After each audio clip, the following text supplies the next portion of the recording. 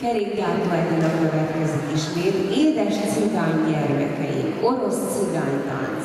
A koreográfus és az előadó Kerékgyártó Edna.